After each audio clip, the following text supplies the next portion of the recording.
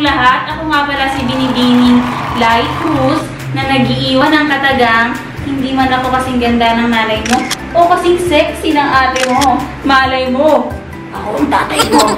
Bilang selebrasyon sa buwan ng wikang ito, ako po ay magsasalita ng Tagalog, buong Tagalog lamang, sa aking vlog na ito. Bago po ang lahat ng yan, gusto ko munang ipakilala ang aking sarili.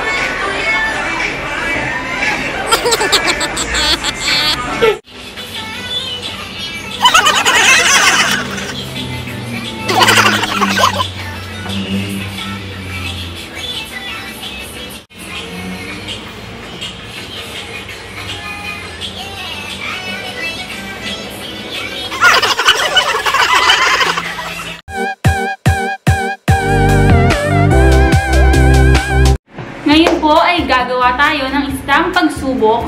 Ang pagsubok po na gagawin natin o challenge na gagawin natin ay ang ano ba? Magtatanong po ako ng mga Tagalog na katanungan at syempre sasagutin din nila ito ng mga kasagutan. So dapat masagutan ma so, dapat dapat masagot nila yung mga Ng katanungan Tagalog. kong Tagalog ng Tagalog. Halina, tara na. Wait lang. O, ito na ang una nating ano, Ako. i-interviewin. Oh. Magpakilala ka muna. Ako po si Elita Cruz. Ilang taon? 73 years old. Virgin pa ba? Ay, tugalhab na. ito. Bawat isang tamang sagot may premyo, may 20 pesos. Unang presidente ng Pilipinas. Ano po? Si Quezon, Manuel L. Quezon. Ano ang Tagalog ng orange? Orange. O, o, orange. 10, 9, 8, 7, Darangita. Ah, sinabi ni Tito. Dalangita. Dalangita? Kahel. Introduce yourself. Hi, I'm Joy Cruz. Oh, first question. Tagal ah. Kung ang sauce ay sausawan, ano naman ang saucer? Eddie Platito. Baboy o baboy naman it ay biik. Ginawa ko to ha. Ginawa ko to question. Ano naman ang burnik? Eddie Book sa puwet. Ayan for the vlog guys. Lalabas tayo at mag interview tayo. Outfit. Oh, mababasa. Ready ka na ba? Saan? Sa vlog. Mag-introduce yourself. Edad. Um, I'm 28. So, bibig, ito ah. Tatanungin kita, tapos bawat tamang sagot mo, bibigyan kita ng, of course, 20 pesos pangbayad sa. Baseball. Ay, sa. eh, ito muna ang tanong na to. Ano? Ilan ang anak mo? Dalawa. Virgin ka pa ba? Oh, ito. Magandang tanong kay Geraldine. Anong hayop Ano? si King Kong? Ha? Si King Kong. 10, 9, Unggoy. and mali. Oh, ito. Tukoy daw. Second question. Kailangan galingan mo. Ba't natatawa ka? Alam mo Ito ano? Ah, oo. Ito, ito, magandang tanong. Ah, kay okay. Ito. Na-realize din niya mali siya. Na-realize mo rin na mali ka. Focus ka. Oh, focus ka. Bumili, pwede? Focus ka. Ko buhay ko. Gorilla raw. Na-realize niya tama. Ito, magandang tanong talaga sa'yo. Ano? Ano yun? Kung ang ama ay father, ano naman ang feather? 10, Feather? 9, 8, 7, Ano? Ano pa to yung ano? ano? 4, Yung malaki-malaki dito. Ah, Kung ang anak ng baboy o baboy na maliit ay biik, ano naman ang burnik? Ano yung burnik? Hindi ko alam yun. Hindi ko alam yun. May prime yan. Interview lang to. Interview lang to. So, Ah. bawat tamang sagot, merong 20 pesos. Okay. First question. No coaching guys ah. Kung ang light ay ilaw, ano naman ang light niya? Kidlat! Ang galing! Ah. Oh, bete ka agad, ha? Saan binaril si Rizal? Sabi niya ito.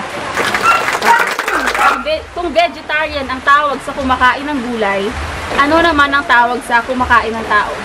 10, 9, 8, 7, 6, 5, 4, No coaching! Anong carnivore? Anong carnivore? Sabi ng carnivore?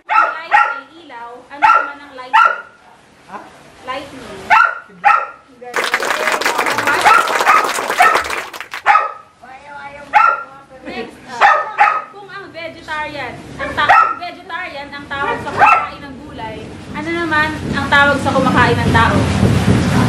10, 9, 8, Hello, Jerry? 7, Hindi nyo alam? 5. Hello? Talino?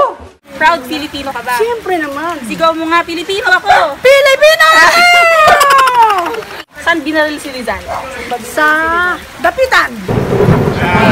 Saucer, sausawan. Ano naman ang saucer? Saucer yung 10, 9, 8, plato. 7, 6, 5, plato, 3, 2, Yung saucer. Ano ang Tagalog ng kulay orange? 10, 9, 8, 7, 6, 5, 4. Ha? Ka? Kamya. Ha? Ha? Kar. Carrots! Orange eh. Nabablang ko ako. Ulitin mo, ulitin, ulitin mo.